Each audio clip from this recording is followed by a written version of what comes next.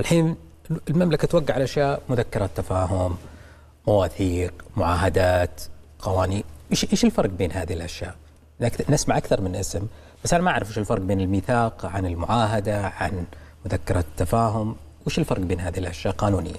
هو كقيمة قانونية مم.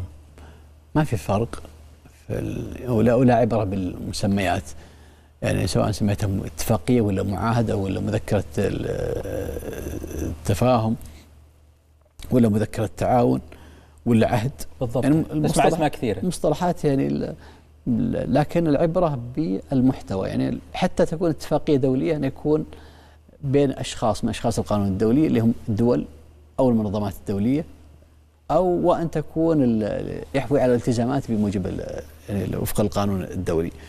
ولكن جرى العرف.